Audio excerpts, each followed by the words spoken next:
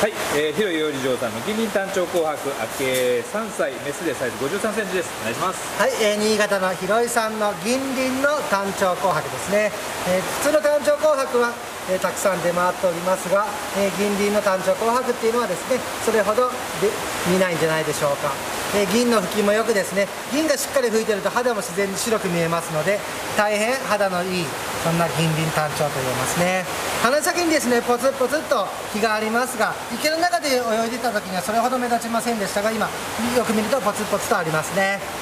はいじゃあ掴みます。こちらメス鯉でありますので割と太いですね。重量感がずしっとあります。はい。銀の吹きはしっかり出ておりますね。サイド。はいお腹ですね。はい重量感のある銀鱗の単調紅白です。この夏しっかり餌を与えていただいて大きくしてください。は